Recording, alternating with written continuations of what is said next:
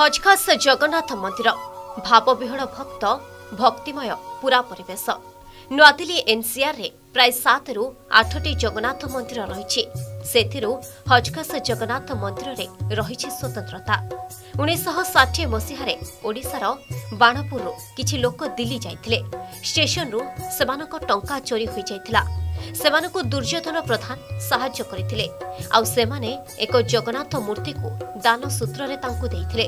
ସେବେଠୁ ଦୁର୍ଯ୍ୟୋଧନ ପ୍ରଧାନ ଭ୍ରମରବର ପ୍ରଧାନ ଓ କଳାହାଣ୍ଡି ରାଜାଙ୍କ ଉଦ୍ୟମରେ ମନ୍ଦିର ତିଆରି କରିବାର ଯୋଜନା ଆରମ୍ଭ ହେଲା। ଉଣେଇଶହ ଅଡ଼ଷଠିରେ ଏହି ମନ୍ଦିରର ନିର୍ମାଣ କାର୍ଯ୍ୟ ଆରମ୍ଭ ହୋଇଥିଲା। ଆଉ ତାପରେ ଉଣେଇଶହ ଅଣାଅଶୀରେ ମହାପ୍ରଭୁଙ୍କ ରଥଯାତ୍ରା ପାଳିତ ହୋଇଆସୁଛି ଚଳିତ ବର୍ଷ ଚଉରାଳିଶତମ ରଥଯାତ୍ରା ପାଳିତ ହେଉଥିବା ବେଳେ ଆକଳନ କରାଯାଇଛି ପ୍ରାୟ ଦେଢ଼ ଲକ୍ଷ ଭକ୍ତଙ୍କ ସମାଗମ ହେବ। ଏଠାରେ ବିଶିଷ୍ଟ ମାନ୍ୟଗଣ୍ୟ ବ୍ୟକ୍ତି ଛେରାପହରା କରନ୍ତି। ପୂର୍ବତନ ପ୍ରଧାନମନ୍ତ୍ରୀ ଅଟଳ ବିହାରୀ ବାଜପେୟୀ କେନ୍ଦ୍ରମନ୍ତ୍ରୀ ଧର୍ମେନ୍ଦ୍ର ପ୍ରଧାନ ଏବଂ ତାଙ୍କ ବାପା ଦେବେନ୍ଦ୍ର ପ୍ରଧାନ ମଧ୍ୟ ଛେରାପହରା କରିଛନ୍ତି। କେନ୍ଦ୍ରମନ୍ତ୍ରୀ ଧର୍ମେନ୍ଦ୍ର ପ୍ରଧାନ ଓ ତାଙ୍କ ବାପା ଦେବେନ୍ଦ୍ର ପ୍ରଧାନଙ୍କର ମନ୍ଦିର ପ୍ରତି ବହୁ ଅବଦାନ ଥିବା କଥା ମନେ ପକାଇବା ସହ ଧନ୍ୟବାଦ ଦେଇଛନ୍ତି ହଜକାସ ଜଗନ୍ନାଥ ମନ୍ଦିରର ସମ୍ପାଦକ ରବି ପ୍ରଧାନ। ସେଭେଣ୍ଟି ନାଇନ୍ରେ ଆମର ପ୍ରଥମ ରଥଯାତ୍ରା ହେଲା।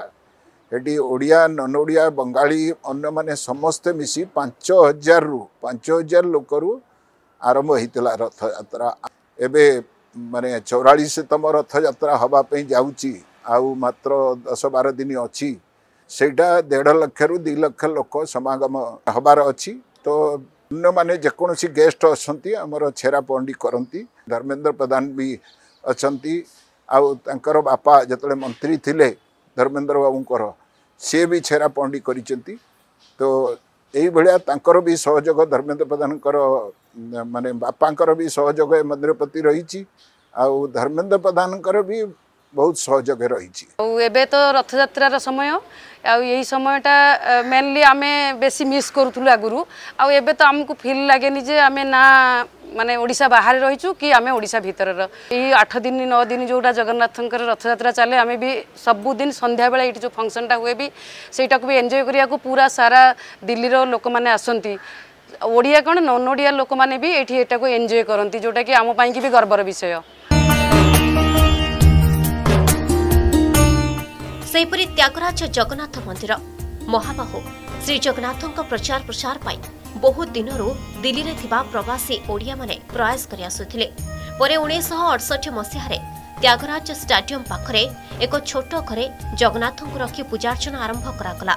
ଉଣେଇଶହ ବୟାଅଶୀ ମସିହାରେ ତତ୍କାଳୀନ କେନ୍ଦ୍ରମନ୍ତ୍ରୀ ବ୍ରଜକିଶୋର ମହାନ୍ତିଙ୍କ ଉଦ୍ୟମରେ ମନ୍ଦିରକୁ ଜାଗା ମିଳିଲା। ବହୁ ଓଡ଼ିଆଙ୍କ ଉଦ୍ୟମରେ ଉଣେଇଶହ ଅନେଶତ ମସିହାରେ ପୂର୍ଣ୍ଣାଙ୍ଗ ଭାବେ ମନ୍ଦିର ହେଲା। ଆଉ ଦୁଇହଜାର ଏଗାର ପରଠାରୁ ବହୁ ଆଡମ୍ବରରେ ରଥଯାତ୍ରା ଅନୁଷ୍ଠିତ ହେଉଛି। ଓଡ଼ିଶାର କଳା ଓ ସଂସ୍କୃତିର ପ୍ରଚାର ପାଇଁ ଏଠାରେ ଓଡ଼ିଶୀ ଛଉ ନୃତ୍ୟ ଭଳି ବିଭିନ୍ନ କାର୍ଯ୍ୟକ୍ରମର ଆୟୋଜନ କରାଯାଇଥାଏ। ଭଳି ସମ୍ବଲପୁରୀ ଶାଢ଼ୀ ପଟ୍ଟଚିତ୍ର ଓ ଓଡ଼ିଶାର କଳା ଯଥା ପିପିଲି ଚାନ୍ଦୁଆ ଆଦି ମନ୍ଦିର ପରିସରରେ ବିକ୍ରି ହୋଇଥାଏ। ଏହାସହ ଲକ୍ଷ୍ମୀ ବ୍ୟଞ୍ଜନ ନାମରେ ଏକ ଫୁଡ୍ ଷ୍ଟଲ୍ରେ ଓଡ଼ିଆ ଖାଦ୍ୟର ପସରା ମିଳିଥାଏ। ଏଠି ବହୁତ ସଂଖ୍ୟାରେ ମତଲବ ଲାକ୍ଷେ ଲକ୍ଷେରୁ ଅଧିକ ଲୋକ ଦର୍ଶନ କରିକି ଆସନ୍ତି ଦର୍ଶନ କରିବା ପାଇଁ ଆସନ୍ତି ରଥ ବି ଟାଣନ୍ତି। ଆଉ ଆମେ କହିବାନି ଯେ ଓଡ଼ିଆର ଖାଲି ଓଡ଼ିଶାର ଲୋକ ଆସୁଛନ୍ତି ସେ କଥା ନୁହେଁ ବିଭିନ୍ନ ପ୍ରାନ୍ତରୁ ବିଭିନ୍ନ ରାଜ୍ୟରୁ ଆଉ ବିଭିନ୍ନ ଦେଶରୁ ଲୋକ ବି ଦିଲ୍ଲୀରେ ଅଛନ୍ତି ସେମାନେ ଆସିକି ଯୋଗ ଦିଅନ୍ତି ରଥଯାତ୍ରାରେ। ଆମ ଦିଲ୍ଲୀର ଏନ୍ସିଆର୍ ଭିତରେ ବହୁତ ଜଗନ୍ନାଥ ମନ୍ଦିର ଅଛି ତଥାପି ଆମ ମନ୍ଦିର ଉପରେ ବେଶୀ ଲୋକଙ୍କର ଆଶା ଅଛି ଯେ ଆମେ ସେଇଠିକି ଯିବା ଠାକୁରଙ୍କୁ ଦର୍ଶନ କରିବା। ଦୁଇ ହଜାର ସତର ମସିହାରେ ଆମର ମନ୍ଦିରର ପଚାଶତମ ବାର୍ଷିକୋତ୍ସବ ହେଲା। ସେ ସମୟରେ ଆମେ ଶ୍ରୀ ଜଗନ୍ନାଥଙ୍କର ଯେଉଁ ରଥଯାତ୍ରା ହେଲା ସେଟା ବହୁତ ବ୍ୟାପକ ଭାବେ ହେଇଥିଲା। ଆଉ ବହୁତ ବଡ଼ ଆକାରରୁ ଆମେ ସାଂସ୍କୃତିକ କାର୍ଯ୍ୟକ୍ରମ କରିଥିଲୁ। ଏ ବର୍ଷର ରଥଯାତ୍ରା ଆମେ ଯଦିଓ ଏତେ ବ୍ୟାପକ ଭାବେ କରିପାରୁନୁ କାହିଁକିନା ବର୍ତ୍ତମାନ ସୁଦ୍ଧା ବି କରୋନାର ପ୍ରକୋପ ରହୁଛି। ଆଉ ସେ କରୋନାର ପ୍ରକୋପକୁ ଦେଖି ଆଖିରେ ରଖି ଆମେ ବିଶେଷ କିଛି ଅନ୍ୟ କିଛି ପ୍ରୋଗ୍ରାମ୍ କରୁନୁ କିନ୍ତୁ ଆମକୁ ପୁଲିସର ସହଯୋଗ ମିଳିଛି ପରମିସନ୍ ମିଳିଛି ଯେ ଆମେ ରଥ ବାହାରକୁ ନେଇକରି ପରିକ୍ରମା ନଗର ପରିକ୍ରମା କରିବୁ। ଆଉ ପ୍ରାୟ କୋଡ଼ିଏ ତିରିଶ ହଜାର ଭକ୍ତ ଆମ ଏଇ ରଥଯାତ୍ରାରେ ଘୋଷଯାତ୍ରା ଯେଉଁ ଜୁଲାଇ ଏକରେ ଯେଉଁ ଆରମ୍ଭ ହେବ ସେଥିରେ ସମସ୍ତେ ଯୋଗ ଦେବାର ଆମର ପୁରା ଆଶା ଅଛି। ଜୟ ଜଗନ୍ନାଥ ଧ୍ୱନିରେ ପ୍ରକମ୍ପିତ ହେଉଛି ପୁରା ପରିବେଶ।